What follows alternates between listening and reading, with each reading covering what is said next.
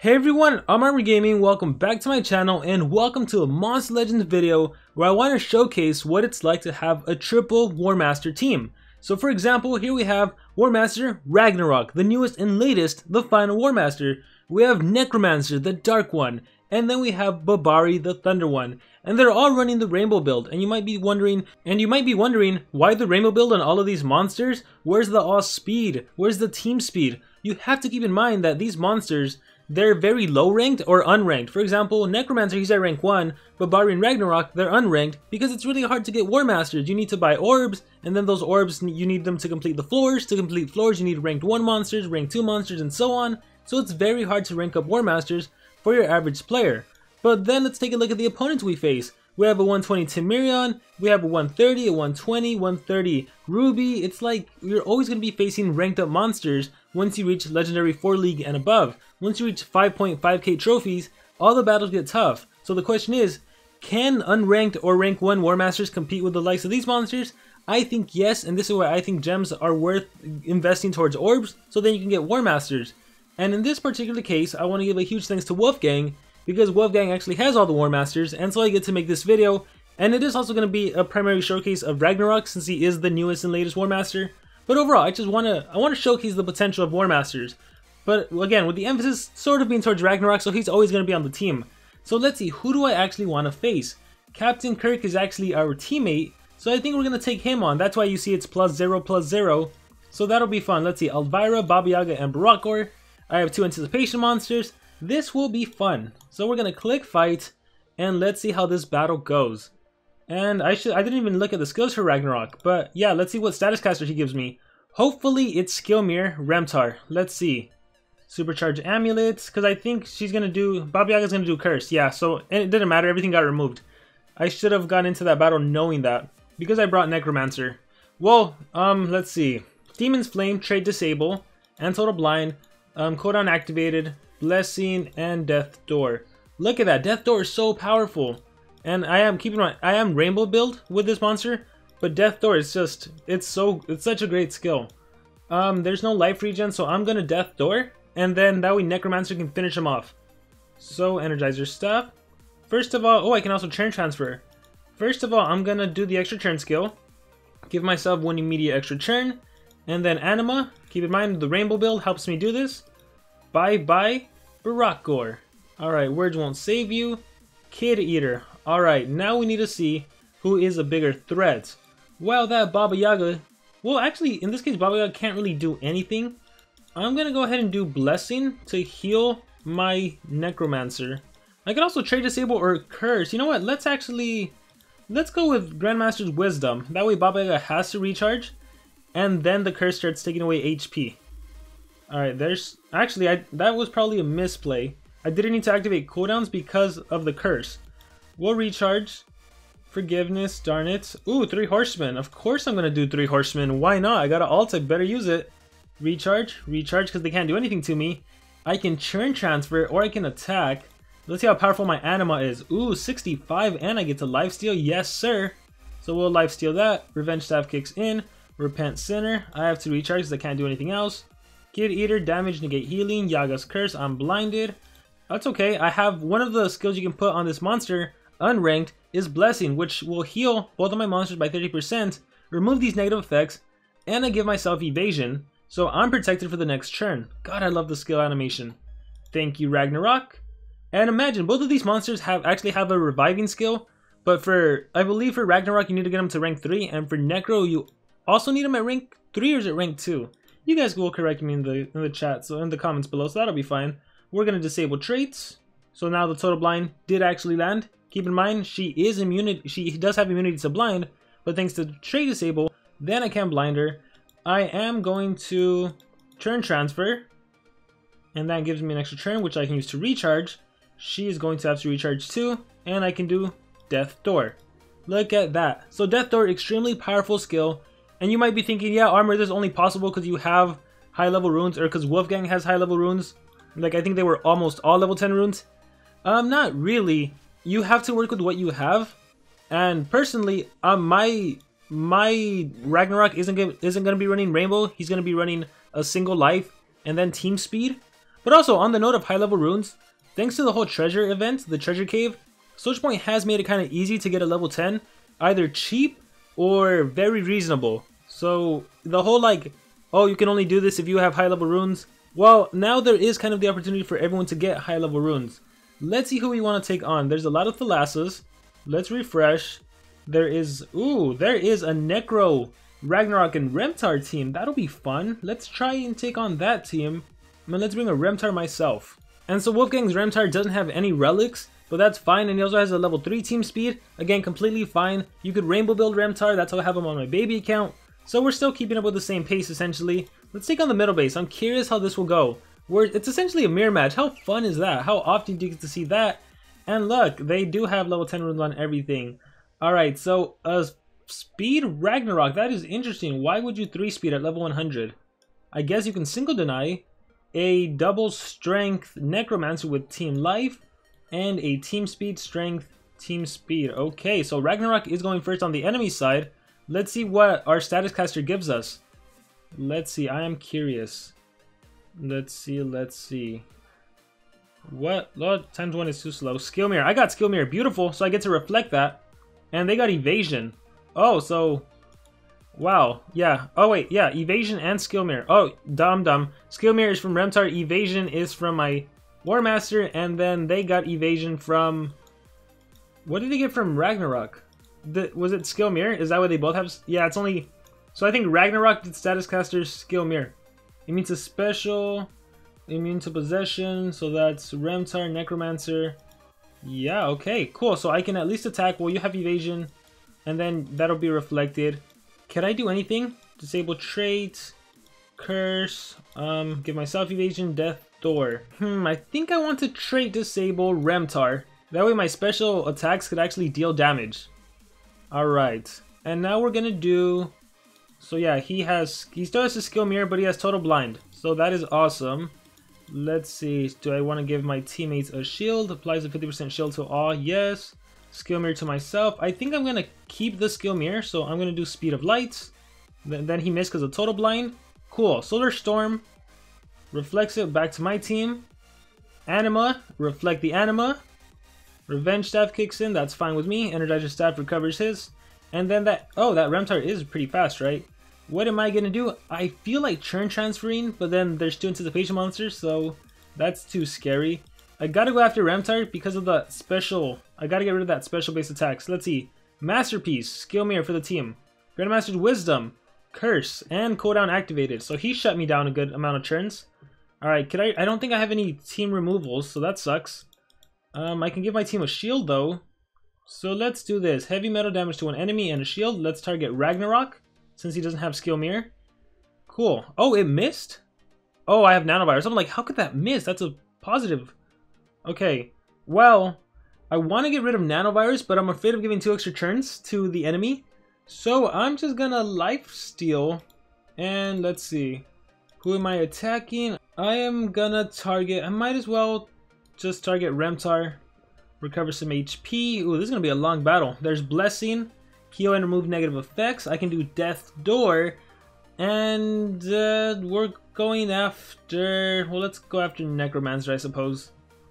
Revenge staff. Oh, this is going to be a tough, long battle. Hard light wall, shield to our allies. Yeah, we're going to go with the shield. And we'll target Remtar again. Uh, not Remtar, we'll target Necromancer. Masterpiece, that's a good skill. I think if you're running a rainbow build Ragnarok, or even if you're not, you want skill mirror because it really makes you rethink who you're going to target. Because if that skill mirror's up, you don't want to target anyone. So we're going to recharge. Warcry, he did the extra turn skill. That was a mistake because now both of my monsters get an extra turn. I get to recharge. Oh gosh, I have to. I need to clear these negative buffs. Darn it. okay, Blessing, and please don't kill me. Oh, recharge, thank goodness. Healing Amulet, and then I'm going to hit hard with Anima. Keep in mind, we are going to kill that Remtar, because he's the reason I can't use special-based attacks. Or the reason special-based attacks aren't dealing damage. Uh, let's see. Blessing. Let's get rid of... Ooh. Tempted to kill Necromancer, but nope. Let's do Blessing. That is that is a really good team because Imagine this team ranked up. Necromancer has a recovery extra turn skill, a revival extra turn skill, and even Ragnarok would have a recovery extra turn skill. Crazy. Alright, well, we'll do Speed of Light. Even though it doesn't deal damage, we're going to hit Ragnarok. just so I can give myself skill mirror because I might need it. Because the AI may attack me. See? Speed of light, speed of light. Anima, anima. I don't know why why the AI isn't smart enough to not attack me. Um, we're gonna Demon's Flame or Grandmaster Wisdom. Ooh, that'll kill Remtar. Ooh, what to do, what to do. We're gonna Demon's Flame on uh, Remtar, so that way I can deal damage. We're going to recharge, and with my Remtar, we will do um, apply stamina regen. Yeah, let's hit Ragnarok. Let's start. Let's start getting rid of that shield. Solar Storm. I have stamina regen. Oh, blessing removed it. Darn it. Everyone's a threat. Gosh, this battle's gonna take so long. Uh, Grandmaster Wisdom. Let's go after Remtar. Let's finish him off. The curse should kill him. He hit me back, but that's fine. Bam. That's one down. And unfortunately, the Necromancer has no way to recover life. Hard Light Fortress. This gives my team a shield. I need it. That darn nanovirus. I am going to... I don't need a clear nanovirus, so I'll recharge. They're not really a big threat right now. So I am fine. I'll recharge. I will do Speed of Light to give myself Skill Mirror. I'm going to target the Ragnarok because he's, he's a wild card. He has so many skills at his disposal that I need to make sure to take him out. Um, we're going to target Necro just for some HP. There's that skill mirror. Really great skill. I think that's worth running. I think I would really love to have that skill. I am not going to reflect it back onto me because that's scary. Why do I have a shield if it's at zero? What? Um, so I'm going to recharge. I'm going to do nothing again because that skill mirror. It prevents me from actually doing anything. So definitely be sure to run it, especially on a rainbow build.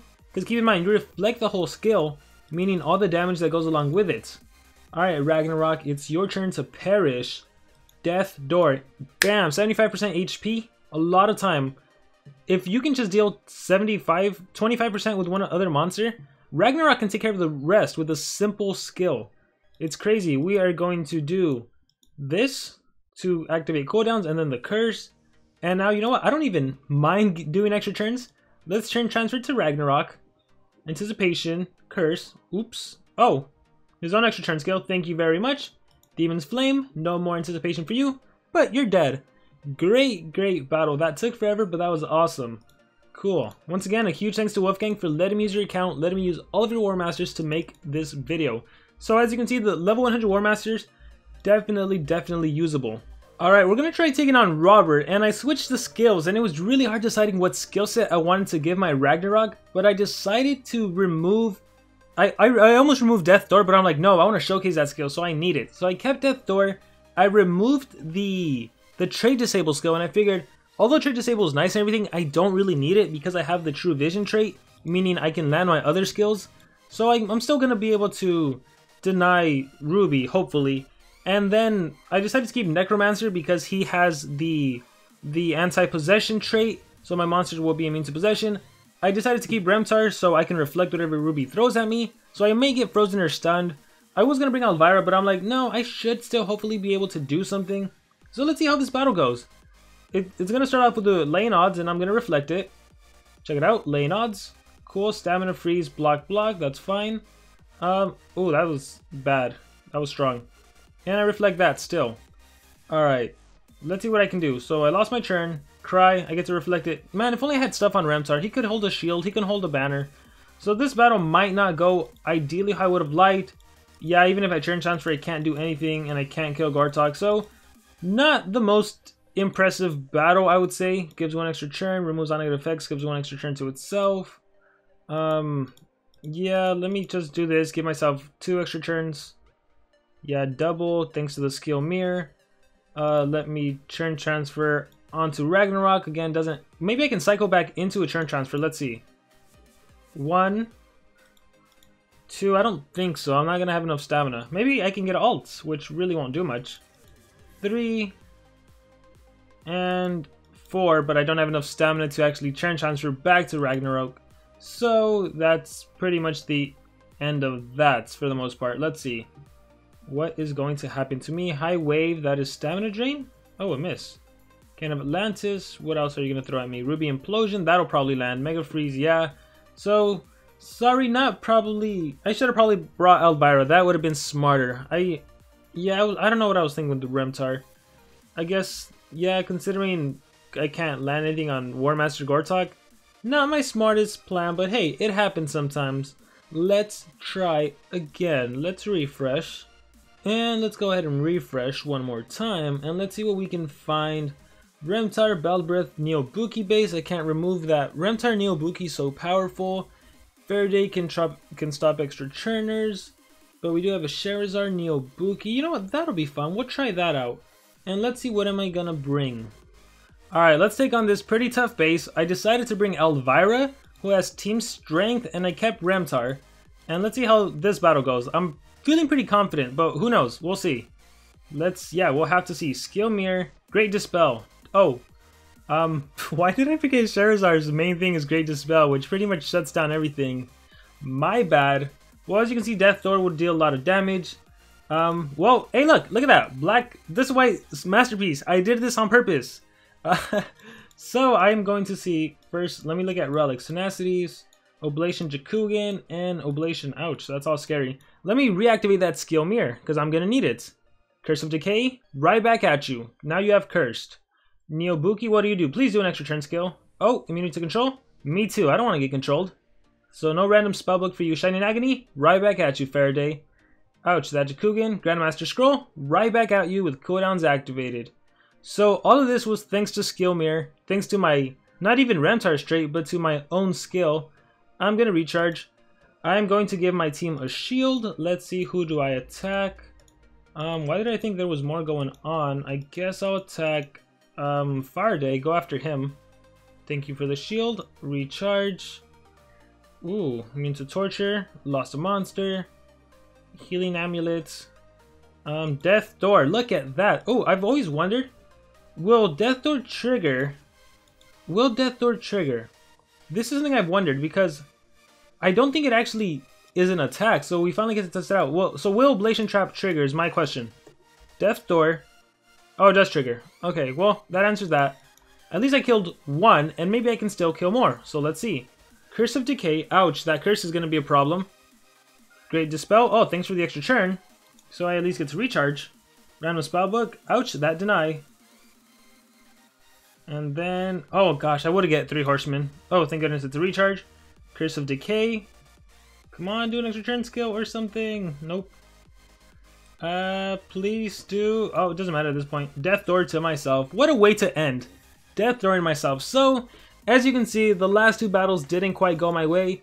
And that I guess the best I could attribute that is to the fact that I am fighting other War Masters. I am fighting other tough opponents. So, of course, if an unranked War Master is tough, a ranked up War Master is going to be even tougher. But with that being said, let's take on the left base that has a Charmless, a Charmless and one War Master. So, this is where anticipation is really gonna kick the enemy's the enemy's butt. Watch. As Charmless, well, I think he's gonna recharge.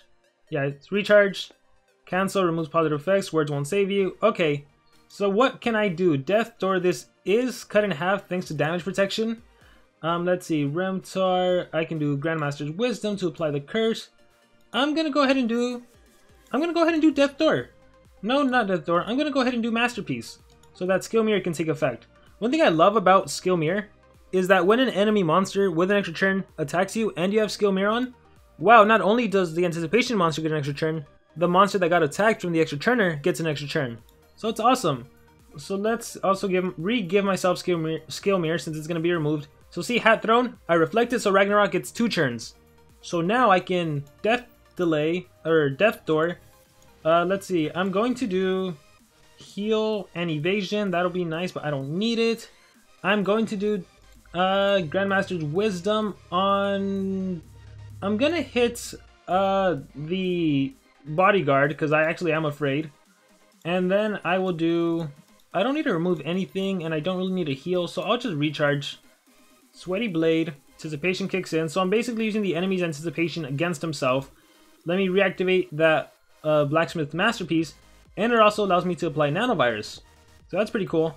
Entangled Cloak, oop, attack the wrong person, buddy. Now I get to do some healing, or whatever I have. Let's see what I can do. Sunburn, Forgiveness, remove negative effects, and heals. And look, this will even get reflected thanks to Skill Mirror. So it's 100% heal, essentially.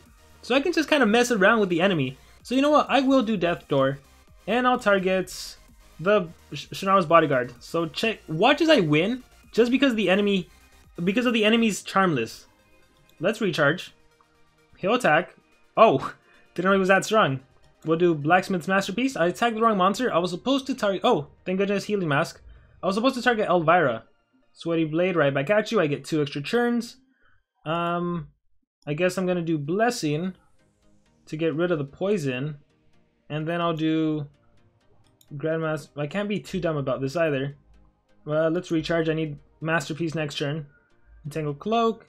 Hits you back. What do I have? Um, Light Wall. Yeah, let's give my team a shield. Let's attack. Let's attack Elvira. I haven't hit her in a while. Alright, Amulet. We'll do Masterpiece. Blacksmith's Masterpiece. So yeah, this is how Ragnarok pretty much, thanks to his trait, is going to win me the battle essentially. Um, 33. Let's do some... Do I have life? Well, yeah, I could use some life regen. So let's hit Elvira. Cool. If it wasn't for that damage protection, the Death Door would have been destroying. Um, that scares me, so I'm going to do Blessing to get rid of the Nature weakness. So Hat Throne, I can deal with that. Death Door. Oh, he's running low on stamina. Oh, poor little buddy. You're low on stamina. Um, let's activate cooldowns on Elvira so she doesn't clear the negative effects or anything. Got myself an extra turn. I can do Masterpiece. And we're gonna hit... Let's hit Elvira. Cool. Because he's gonna get more turns right now. Recharge, and back to this little barrage of attacking back and forth, back and forth, back and forth. Healing Amulet takes effect. Death Door, I can essentially kill him now if I want to. Um, so why don't we do... Why don't we let him attack Remtar? So I will do a recharge, then a blessing. Recharge, and then blessing against Shannara's bodyguard. My monsters heal. Got myself evasion. Anticipation kicks in. That reflection kicks in.